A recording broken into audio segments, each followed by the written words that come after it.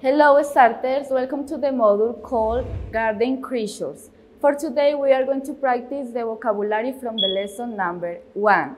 So let's start.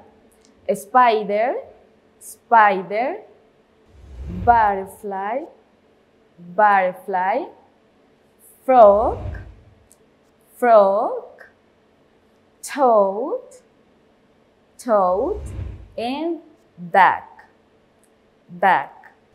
Okay, starters, continue with the grammar part.